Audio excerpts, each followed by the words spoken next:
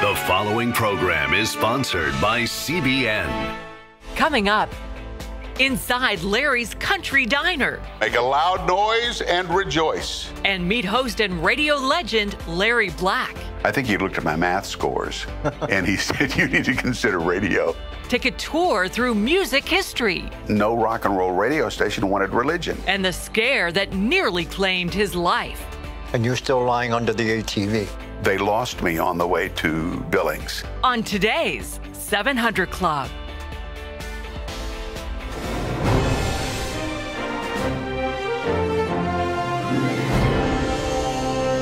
Welcome to the 700 Club.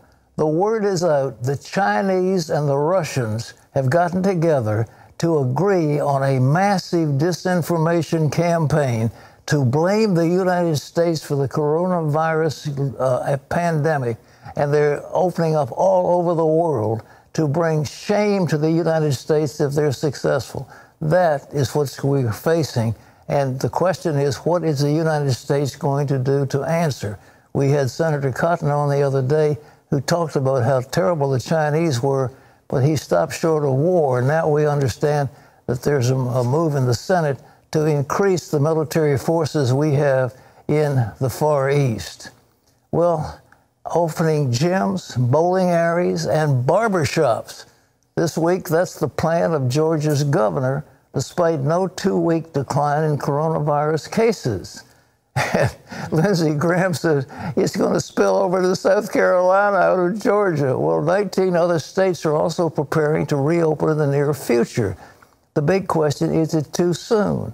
And what I've got to ask you is would you want to go to a theater and sit next to a stranger? Would you want to go to a restaurant and sit right next to uh, four or five people who are uh, in the restaurant? Well, maybe yes, maybe no, but the question is will we reopen for sure? And now Congress is saying we're going to spend billions more dollars with another round of release in the race against time to save small businesses. But are huge companies like Harvard University and Shake Shack going to get the millions? Or the poor little guys, are they going to get it? Caitlin Burke has that report. With this latest coronavirus stimulus package, lawmakers are hopeful the $484 billion bill will be enough to keep small businesses going. But Republican leaders say it's just a stopgap. Unless we get our economy up and running again, there's not any way we can spend enough to continue to prop up the country. $383 billion of this latest stimulus bill will be earmarked specifically for small business programs, including the Paycheck Protection Program. We want to make sure this money is available to small businesses that need it, people who have invested their entire life savings. The new legislation is on its way to the House after being passed Tuesday by the Senate. Meanwhile, much of the country is working to reopen. 20 states representing 40% of the U.S. population have announced that they are making plans and preparations to safely restart their economies in the very near future. Still, some of the states rushing to reopen don't meet the White House guidelines. Georgia's governor is preparing to open gyms, bowling alleys, and barbershops this week, despite not seeing a two week decline in COVID 19 cases. When we have more people moving around, we're probably going to have see our cases continue to go up, but we're a lot better prepared for that now than we were over a month ago. I certainly uh, cannot, in good conscience, say that I agree with his order, and I will continue to use my voice as mayor of Atlanta to ask people to continue to stay home, follow the science, and exercise common sense. CDC Director Robert Redfield warned that a second wave of COVID 19 could coincide with the start of flu season and prove to be even more devastating than what we now face. Dr. Deborah Birx says if there is another wave, the country will be much better prepared. We're going to continue that surveillance from now all the way through the fall to be able to give us that early warning signal. I think what we've learned is how good Americans are about immediately reverting to all of those issues that they need to do in order to ensure that they're protected and their families. Meanwhile, the FDA says it's granted emergency clearance for a new in home test for COVID 19 And in the United Kingdom, researchers at Oxford University are beginning human trials on a potential vaccine. Caitlin Burke, CBN News. Thanks, Caitlin. In other news, as I mentioned before, Russia, China, and Iran all are working together in a global disinformation campaign to sow distrust about the United States government, blaming it for the COVID 19 crisis. John Jessup has more on this shocking story from our CBN News Bureau. Pat, and as you were talking about at the top of the show, a new report from the State Department shows the three nations are carrying out a coordinated effort sowing false narratives related to the coronavirus outbreak. Russia, China, and Iran are using state media, social media, and government agencies to plant fake stories. Each nation then repeating the other's claims in their own media to reinforce and then spread the stories. One claims the Bill and Melinda Gates Foundation created COVID 19 with pharmaceutical companies to profit from the treatment. Another says the U.S. government created the virus as a bioweapon. The report says one of the aims of the campaign is to distract citizens in those nations from their own leaders' poor response to the virus. Well, oil prices dropped again in overnight trading with the United States benchmark West Texas Intermediate falling as low as $10.26 at one point. That came after oil prices closed Tuesday at their lowest levels since February of 1999. But things may be looking a little brighter on Wall Street today, where stock futures were up this morning after the Dow fell 1,300 points Monday and Tuesday. That pullback came after a huge rally took the Dow up 6,000 points, around 33%, Pat, in just a month. What we don't know is there going to be a V-shaped recovery or a U-shaped recovery.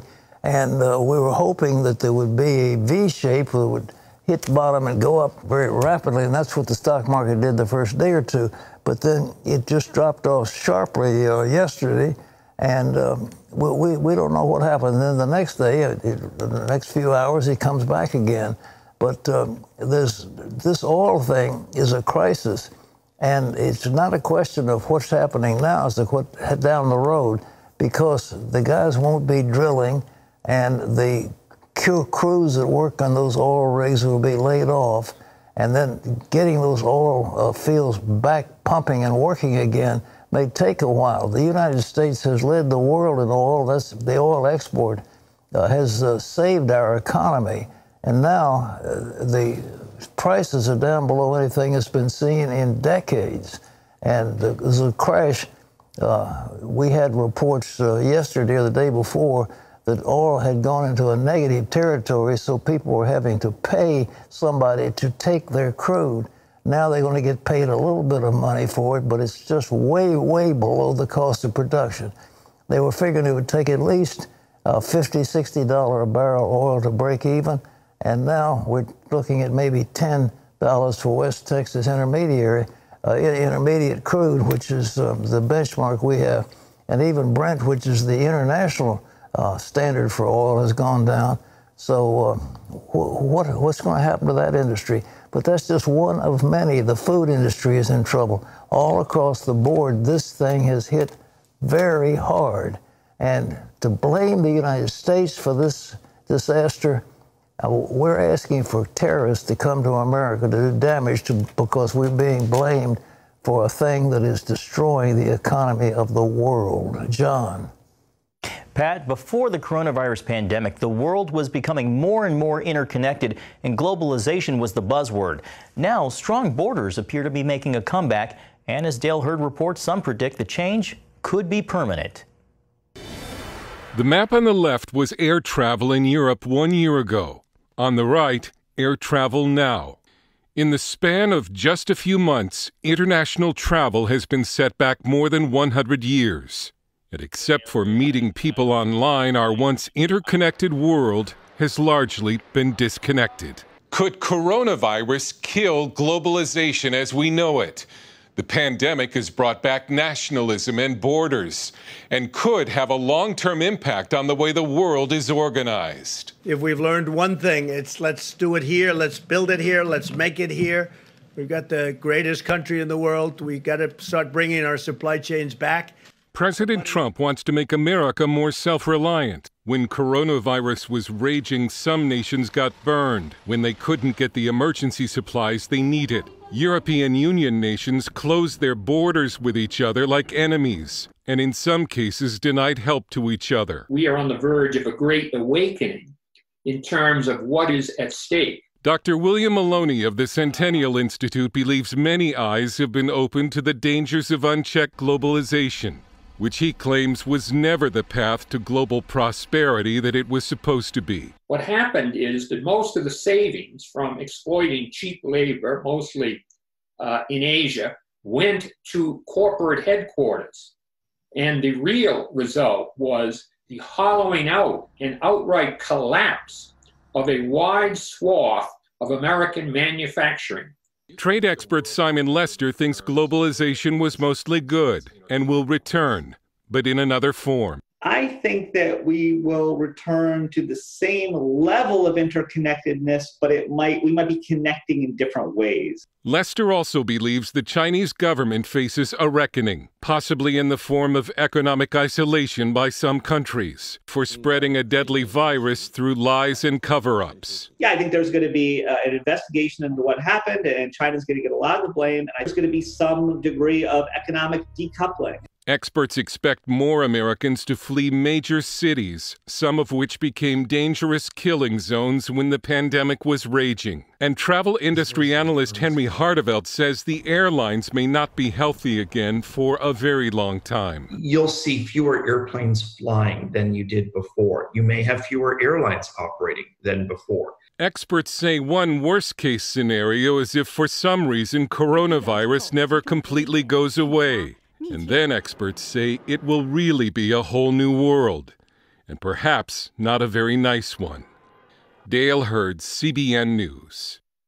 Thanks, Dale. Back here in America, it looks like most schools will remain closed into late summer and fall. Schools are in phase two of the president's guidelines for reopening the country, but the guidelines also bar gatherings of 50 people or more, and that's a difficult goal for classrooms and crowded hallways. Officials in at least 37 states have ordered or recommended schools stay closed through the end of the school year, affecting more than 55 million students in at least 124,000 private and public schools. While some districts in rural states hope to reopen in May, other states that have been hotspots, Pat, may not reopen even in the fall. Uh, you know, we talk about the damage. Uh, part of the damage is being done to private colleges. Many of the smaller independent colleges are going bankrupt. They can't survive without any students. The students aren't coming. And in those cases, many of the professors are unable to teach online. They, they just aren't equipped to do it. And so they can't give the courses and they don't have the students. And uh, we're looking at a disaster. Again, one phase of the economy is being hurt. I'm pleased to report that Regent University has been the leader. It put out the first online doctorate in the history of America, doctorate in organizational leadership. And that school, because of uh, its pioneering, uh, is doing extremely well, having many students, and uh, we, we have, it's going to be a virtual graduation where everything is going to be done electronically, but it'll look, look as if we're all there giving degrees to people. It'll be all the, the, usual stuff. And you just did that, right? You got. I, I, did it for the individual schools. We used to have commissioning ceremonies, and I did that all virtually. We had the vid wall behind me. It looked like the chapel, and. And you had your gown on the, and the, everything. The uh, the the, the what did that? what, what, was that like? Well, it, it was fun. It was uh, you know I, I each time I said, and now the School of Education, I congratulate the graduates. In the School of Business, I congratulate, you know, and each one of these things is going to be put together. And, and wow. the, when it's all finished, the, the, graduates will feel like something special. But the actual graduation, again, is going to be online. Uh, it's going to be taped, but it'll be a wonderful production. And having this video that we see behind us, this vid wall, uh, enables us to go everywhere in the world. And mm. so uh, Regent University was ahead of the game, but frankly, folks, when you look at each part of the United of the economy, the airlines, the oil industry, the stock market, uh, the uh, food chain, the restaurants, uh, all the things that make up this great land that we're in, they're all being hurt. And education is just one more phase of it. But boy, if there's ever a time that we need to pray for this nation, and pray for God's mercy. It's right now. John? Pat, and speaking of graduates and education, thanks to COVID 19, more than 3 million high school seniors will likely miss their end of year celebrations, meaning no proms or graduation ceremonies. CBN senior correspondent Eric Phillips explains why missing out on these traditions can be painful. Some things like high school graduation and prom are seen as rites of passage and accomplishment. Sadly, many of those in the class of 2020 will be stripped of that through no fault of their own. I love school and I, you know, I miss it like so much. I miss seeing my friends. 18 year old Kenya Morris was all smiles on day one of her senior year at Caroline High School in Virginia. Little did she or anyone else know an international crisis would cut it short. She was blindsided by the news in March. Of course, I was crying for like at least two hours because in my in the back of my head, I was kind of just like hoping that this isn't true, that this this is going to go away. It's gonna be fine. We're, I'm still gonna have a prom. I'm still gonna have my graduation. It'll go away by April. It's gonna be fine. But then they went, okay, school's canceled for the rest of the year. No prom, no graduation. Sorry. And though this is something that's completely out of our control, it was still like, dang mm. it. It's bittersweet as she and her family look at her senior portrait and pictures of her trying on her prom dress even the cap and gown that arrived in the mail. I wanted my prom to celebrate that, hey, this is my last year here. You've been working so hard like a little over a decade trying to get to this point, and all of a sudden it's just taken from you. Through testing, school officials determined Kenya was developmentally delayed when she was four or five years old. Yet, by the seventh grade, she had worked through it, going on to thrive academically and even becoming president of her high school's National Honor Society chapter. I wanted my graduation to be like, I did it. I did it. Look at this. I did it. I've proven to myself and others I can do it. So can you. I, I hate seeing their their disappointment. That's hard as a mom, as a parent. That's really hard for me. It's disappointing on all sides. My oldest was homeschooled and so I didn't get to see her walk across the stage. Um, so Kenya was going to be our first one to walk across the stage, get the diploma, and uh, I was so excited. According to Caroline High's website, school officials hope to reschedule both events before the fall. It's a very limited amount of time to get in a prom and a, and a graduation. I hope they can do it. I do. I didn't work this hard for nothing. Though the current situation is disappointing, Kenya is still determined. She plans to attend Virginia Commonwealth University in the fall to study neonatal nursing. Eric Phillips, CBN News.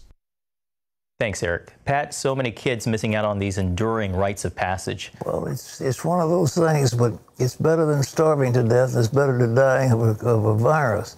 So uh, the thing is, they've got food on the table, and uh, they've got a family and, and they're still healthy. They, they may not be able to have a graduation where they walk across the stage and get a, a diploma, but um, and they, they can't go to a prom. Or if that's the worst of their worries, that's tough luck. But uh, yeah, you know, I believe God will pay it back somehow. You know, right. he always You're... does what, what the enemy means for evil, God means for good, and somehow they're going to be a blessed generation. I, I think so. Well, they'll learn strength. They'll they get strength out of this. I mean, it's not you lose something, but you, the Lord gives you something back that's even better. Amen. All right, you've got something. Speaking, we of, do. Coming up later, a trip back in time when rock and roll met religion. Scott Ross talks to the iconic radio and TV host Larry Black, who gave Black who gave Black one of his big breaks. Well, stay tuned to find out. Plus, it's the coronavirus battle brought on by sheltering in place, out of control food cravings. How do you crush them? Dr. Ian Smith has the answer. That's ahead on today's 700 Club.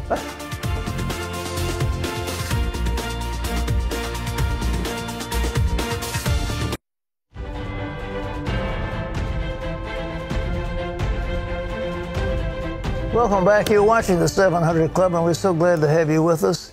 Skyrocketing mental health issues.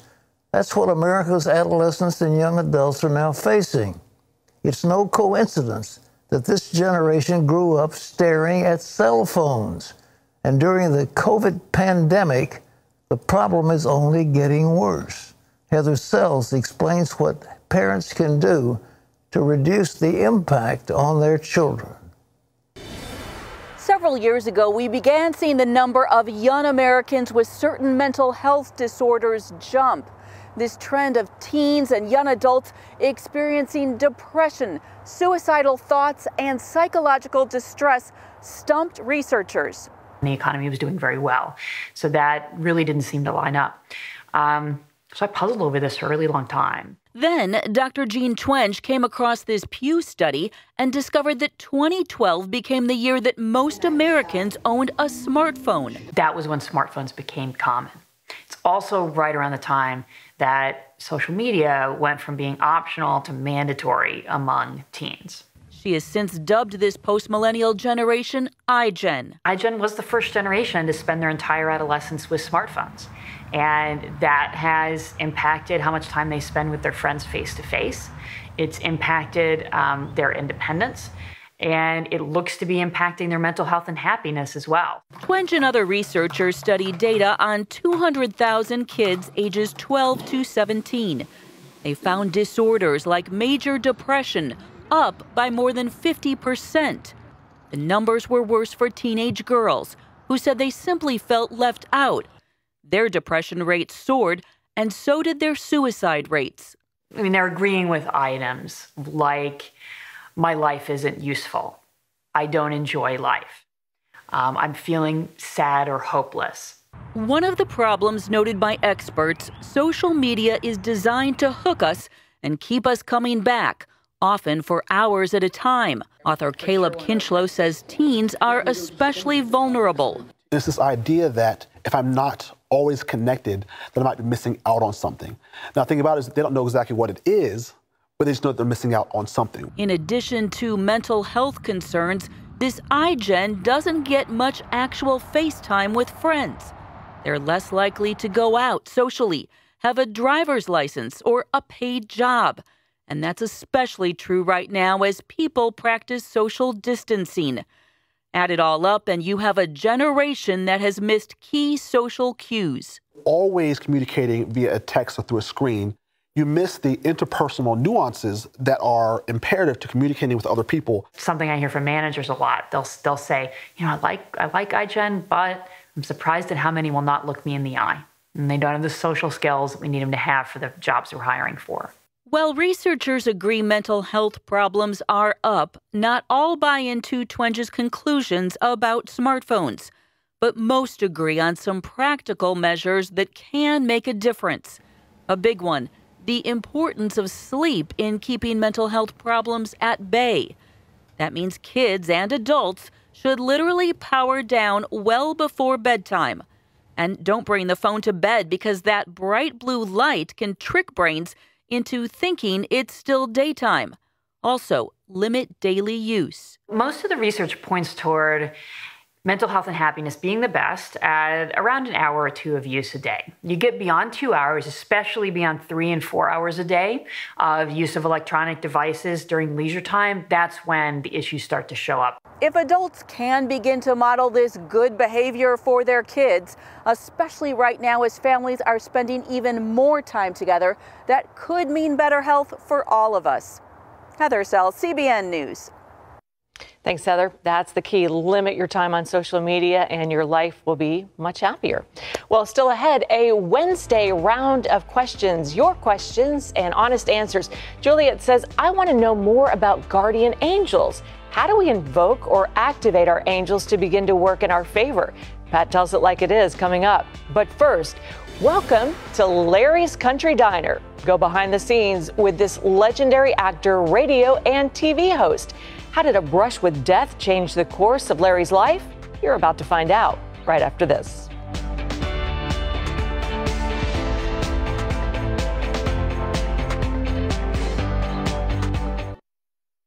Well, each spring, the staff of CBN sets aside a special week of prayer to pray for you our partners and viewers. From Monday, April 27th through Friday, May 1st, we'll be praying for your needs on the 700 Club.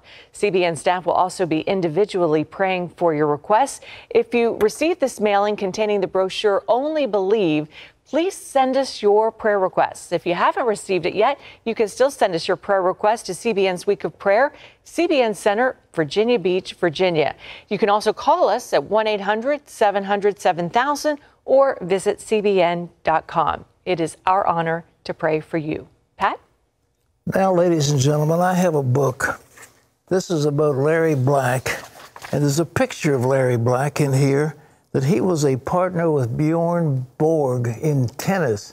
I used to play tennis with Larry, and I thought I could beat him. I didn't realize that I was playing against a professional. He was a ringer. But I beat him regularly. And, Seriously? Well, yeah, but I didn't know he played with Borg. I mean, he was a pro. Wow. He was fooling me. He's a great guy, by the way. Disc jockey, actor, TV host. Larry Black has been in the entertainment business, and we had together a group of DJs up in Northeast Radio, Scott Ross, Larry Black, and several others, uh, Andy, um, whatever his name was. Uh, it was a fabulous group. Mm-hmm. And we had Northeast Radio Network, and Larry was Larry finally decided it was time to write his autobiography, and it is wonderful. So as he sat down with his longtime pal Scott Ross, shows us some of the best material came when the cameras weren't rolling. And the book is The Cameras Weren't Always Rolling. You want to get this book. Scott. If you're looking for a down home meal with all the fixings, you won't find it at Larry's Country Diner. Because what they're serving up are the best country music artists of yesterday and today. This nationally broadcast show is flavored with impromptu dialogue and lots of music. And Larry Black makes sure that every dish comes with a side of scripture. Make a loud noise and rejoice. Psalms 90. 98 4. I recently talked with my longtime friend about his autobiography, The Cameras Weren't Always Rolling. It's about how God used this preacher's kid from Mobile, Alabama, to not only bring together generations of country artists, but also gave them an outlet to share their experiences with Jesus. I really thought maybe I'd be a missionary. There was something intriguing about that. Uh, knew I didn't want to pastor a church. knew I didn't want to be a preacher. And the Lord didn't have that for me. Uh, radio is what finally broke through. What was that radio breakthrough? I had a teacher in high school. Uh, he had been an admiral in the Navy and was teaching algebra. And uh, I had done a halftime show uh, with the band where I narrated what they were doing on field. And the next day in algebra class, he said, You need to consider radio. Hmm. I think he looked at my math scores and he said, You need to consider radio. And I'd never thought about that. So after high school, he got married to Luann and took her around the country as he DJ'd and marketed for a number of secular stations, mostly playing rock and roll. Then in 1969, he felt God calling him back to his Christian roots. Pat Robertson hired him to work for the sales department on my program, The Scott Ross Show. It was a first of its kind radio broadcast that played both contemporary Christian and secular rock and roll. And back then, the government mandated that radio stations had to have a certain amount of religion. Well, no rock and roll radio station wanted religion. Right. But here was an opportunity to write off your religious time Right. with a show that played the same music that they played. Later, I handed over the reins to him in 1976, changing the name to The Larry Black Show. He moved his operations to the Music City, Nashville, Tennessee, where he would broadcast on 125 radio stations nationwide. After seven successful years, he got another big break when he landed a gig DJing at Nashville's iconic country music station, WSM. All of the country music stars listen to WSM. So I was on there for two and a half years. They knew me, they knew my family, they knew the kids' names, they knew Luann's name. During this time, Larry also ventured into acting. In the coming years, he played in a number of movies and TV series such as Ernest Goes to Camp, In the Heat of the Night, The Cape, and October Sky. He also created the highly successful TV show Country's Family Reunion, which has been airing for over two decades. Putting 30 of the legacy artists in a room with a live band, shoot it with eight cameras, and let them just laugh and giggle for two days. And you're talking about country artists that were well known. Yeah, well, my perspective on it was it doesn't really matter who the person was. Mm-hmm. If they did something that was honorable and to be honored, then you honored that. Then in 2009, he introduced Larry's Country Diner. I said, I'll just do a, an hour show, but I don't want to sit with a fireplace in between me and the artist or a table between, you know, I wanted to do it something different. But all that almost came to an end on June 18, 2015.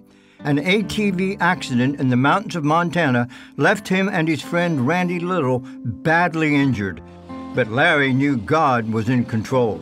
A helicopter was flying over right at that time. They saw it happen. They were a medical helicopter from Cody, Wyoming. They landed, they picked him up and life flighted him to Billings, Montana. And you're still lying under the ATV. Yeah. Larry had a broken back and punctured lungs. There were multiple injuries, internal injuries, and uh, they cut me out. When they when they lifted the ATV off of me, that's when I went south, and uh, they lost me on the way to Billings. They thought you were dead. Yeah. Randy was released from the hospital after three days, but Larry still had a long way to go. So I spent the next six days in ICU in Billings at St. Vincent Hospital, and the next 33 days in the hospital. Uh, I couldn't move. Uh, one of my other sponsors uh, sent a, a Learjet up with a medical team to pick Luann and I up and fly us home.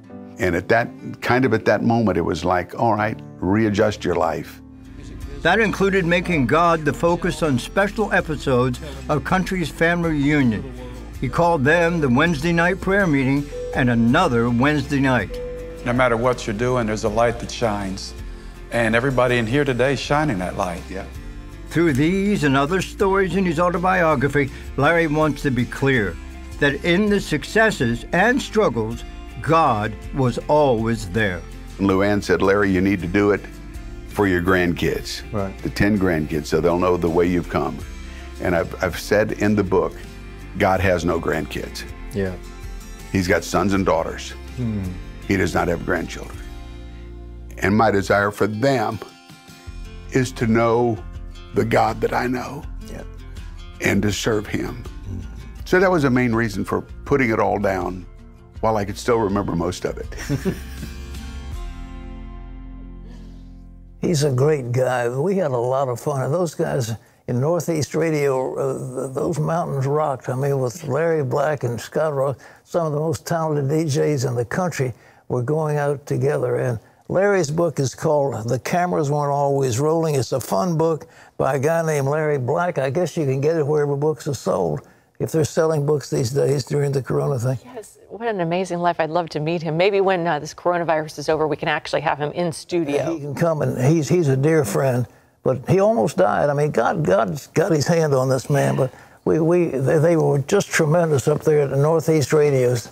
As I say, some of the most, we, we did you know, the Scott Ross show, and then Larry was producing it, and then the next thing you know, he was hosting it, and you know, it became the Larry Black show. But it, you've it done, was. You've done everything, Pat. You started in radio, and then TV, businesses, but it's always been about Jesus. Always about Jesus. But that, that thing, you know, I, I was in South America and I was praying, God, I want you to reach the youth of America. And the Lord spoke to me. He said, You fired the man who I, I said to youth, do the youth of America. So I got back home. I said, Scott, we're going to do a show. Called the Scott Ross Show. And we, it was, I think, maybe two, three, four hours. And we went in to rock and roll stations on a Sunday and, and had that time with Wow. Scott. And then Larry became, was the producer of it. And then Larry took it over. But we had uh, several hundred uh, uh, big rockers, big stations, and the audience was enormous for the Scott Ross show. We had a lot of fun. But anyhow, that's Larry Black. You don't want to miss this book. You got to read it. Cameras weren't always rolling. Okay, I've pitched it enough, Larry. if you don't sell something, something's wrong. Okay. yeah. Right. So we've got some questions for you. Ready, All right. Pat? All right, Juliet says, I want to know more about our guardian angels. How do we invoke or activate our angels to begin to work in our favor? I'm supposed to answer that now? Yeah, and can you do that? Are we allowed to invoke well, angels? We're first of all, we're not supposed to worship angels. It's a sin. Uh, you know, the angels. But uh, you know, we used to be when I would we would do a telethon, we would say, "God send the angels," and the guardian angels would come and protect us because they are spirits. They're sent to look after the the heirs of salvation. So but the worst thing, don't start praying to angels. That's the sin. But the to say, God, send the angels, send the angels, I think is an appropriate prayer. Okay? All right, here's Daniel. He says, Hi, Pat.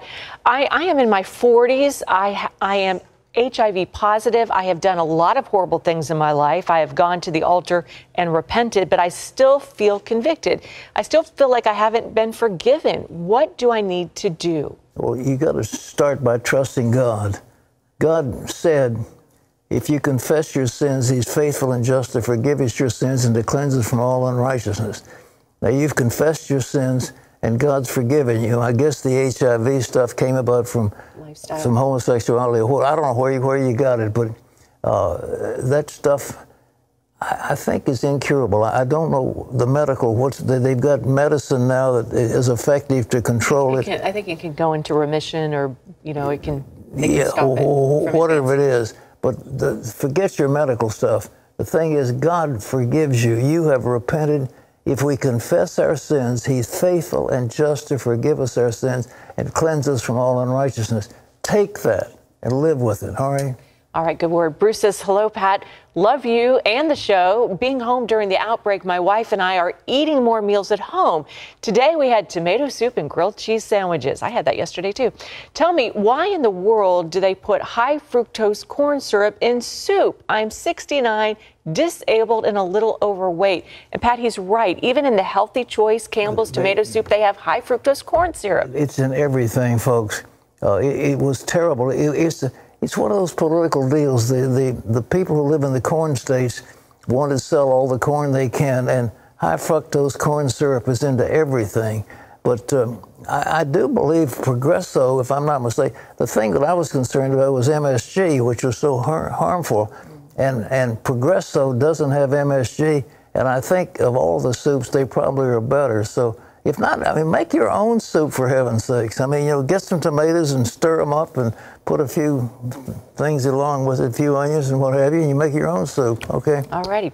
Here's Keone. How can I go to heaven? People say to me, put your trust in Jesus and repent, but I don't know how to do that. Uh, we talk about that all the time. Uh, you come to the Lord, you say, Lord, I, I, was going in a particular direction and I changed the way uh, I'm going, and I have an afterthought. And I'm now going to go the other way. I repent. I'm sorry for what I've done but you've got to meet it in your heart. You know, you don't just, um, you know, the Bible talks about those that set a, a, stumbling block in front of their eyes.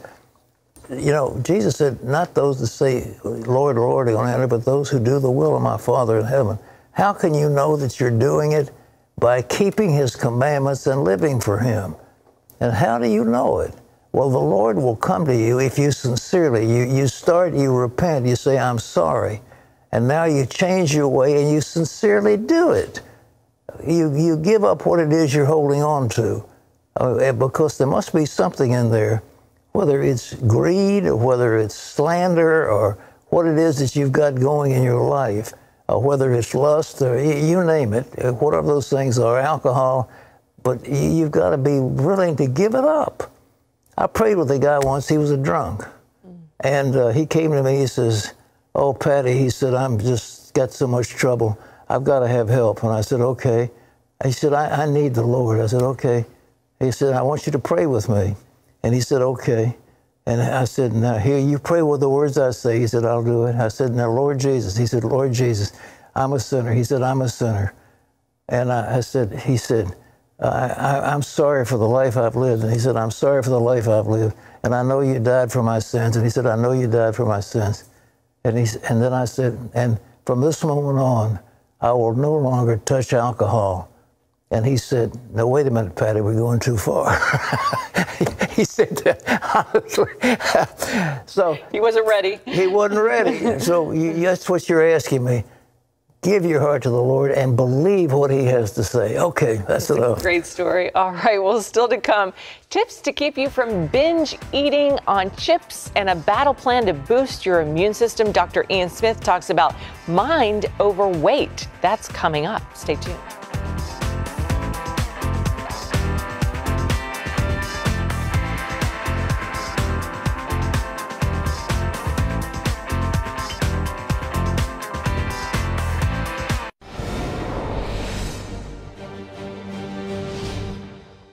Welcome back to Washington for this CBN News break. President Trump has ordered the Navy to destroy Iranian vessels interfering with their mission. Iranian gunboats have been harassing U.S. ships in the Persian Gulf. Also today, Iran's Revolutionary Guard is claiming it launched a military satellite. According to the paramilitary group, the two-stage satellite took off from Iran's central desert, but no more details in the announcement on its website. The launch comes amid tensions with the United States over Tehran's collapsing nuclear deal and after a U.S. drone strike killed Iranian General Qasem Soleimani in January. Iran has suffered several failed satellite launches in recent months. Well, one Ohio neighborhood is coming together to create a sense of routine for school kids forced to stay home during the outbreak. Every morning, families in Kettering, Ohio, just outside of Dayton, step out to the end of their driveways to say the Pledge of Allegiance. I pledge allegiance to the flag United States of America. I think it brings the neighborhood together when we're supposed to be apart. Brings us together safely from a distance, but yeah. just kind of promotes, you know, unity. And it for the kids, I think it's good to have some sort of structure to their day and normalcy. And that structure is what kicks off each school day for the neighborhood kids. After they say the pledge, they all go back to their homes to complete their schoolwork. Not a bad way to start the day. Well, you can always get the latest from CBN News by going to our website at cbnnews.com. Pat and Wendy will be back with more of the 700 Club right after this.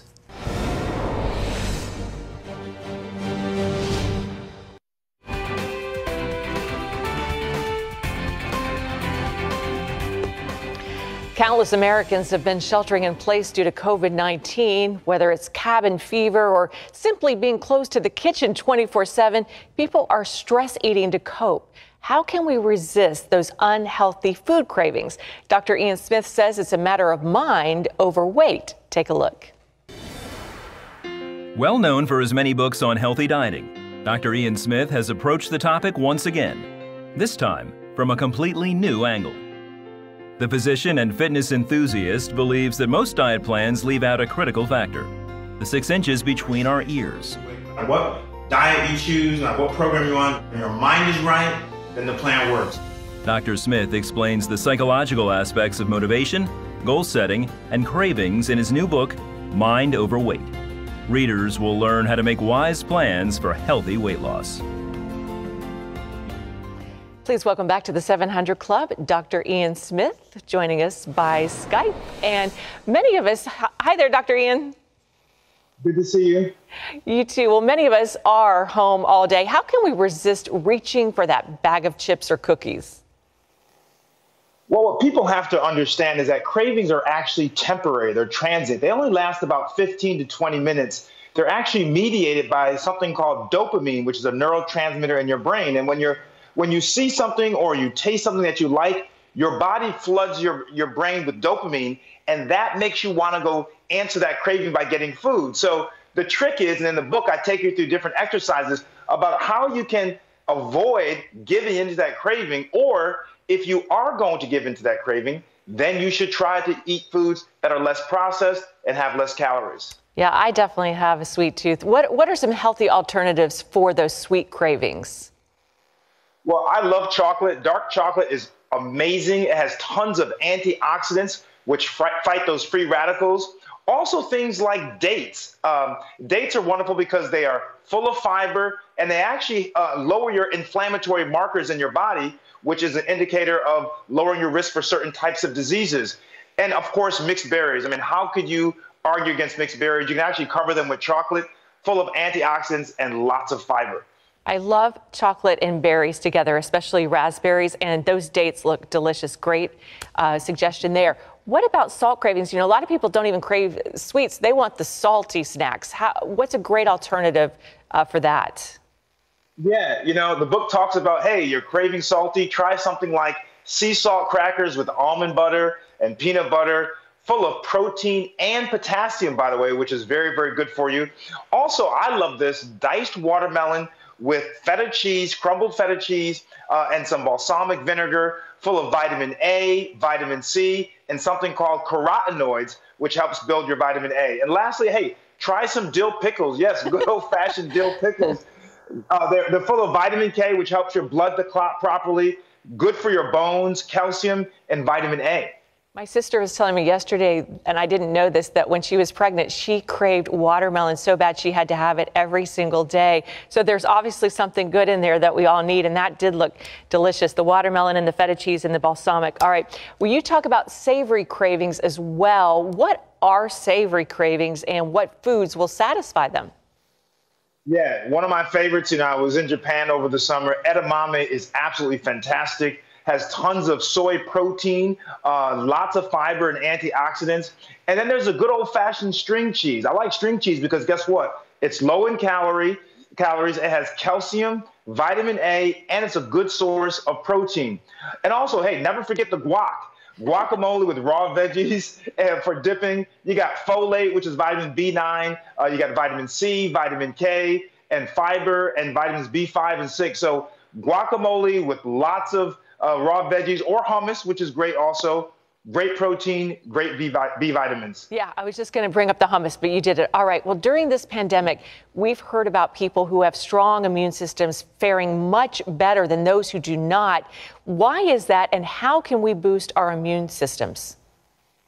Oh, well, first of all, let me just say that you know trying to boost your immune, immune system during this time is about what you eat and also how you exercise. Believe it or not, and so on my Instagram page, I give out free exercise uh, programs for people. Uh, go to at Dr. Ian Smith, spell the doctor out, I A N Smith, and hit me up on Instagram. But things like mushrooms, by the way, are phenomenal, full of B vitamins and polysaccharides, which are good for the immune system.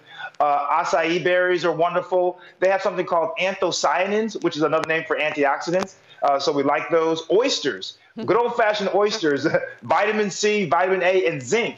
Zinc is great for your immune system. Watermelon, we already talked about vitamins A and C.